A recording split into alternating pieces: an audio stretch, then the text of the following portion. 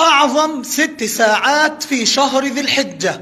مش ست أيام لا مش ست أيام. إحنا عرفنا في فيديوهات سابقة إن هذه الأيام هي أفضل أيام الدنيا على الإطلاق. النهاردة أقول لحضرتك على ست ساعات فقط هم أفضل أيام عمرك أفضل أيام في السنة. أعظم زي ما بقول لك كده أعظم وأهم ست ساعات على الإطلاق في شهر ذي الحجة. النبي عليه الصلاة والسلام كان بيعمل شيء عظيم جدا في الست ساعات.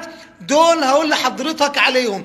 وربنا سبحانه وتعالى يباهي الملائكة بعباده.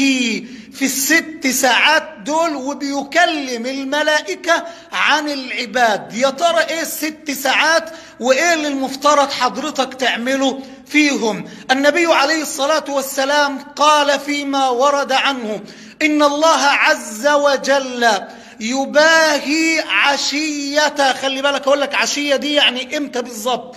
عشية عرفة يباهي بعباده الملائكة.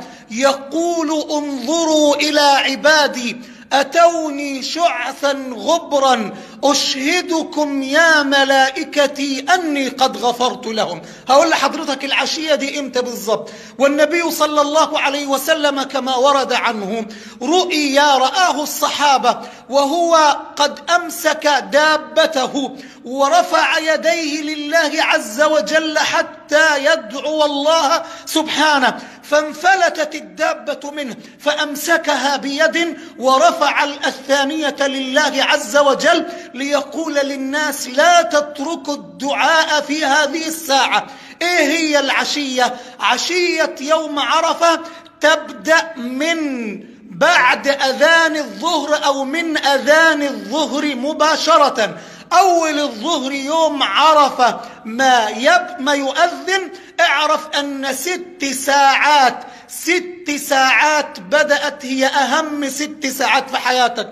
إلى غروب شمس يوم عرفة من الظهر إلى المغرب لا تسكت عن الدعاء ولا تسكت عن الصلاة ولا تسكت عن الذكر ولا تسكت عن السؤال. اسألوا الله ما تشاءون. فالنبي صلى الله عليه وسلم قال خير الدعاء دعاء يوم عرفة.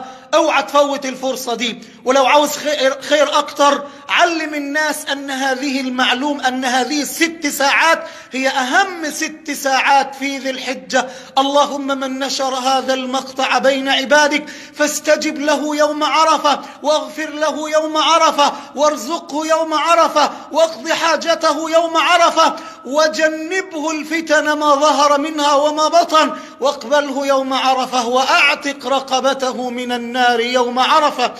برحمتك يا أرحم الراحمين. اللهم اجعلنا من عبادك المقبولين. اللهم آمين.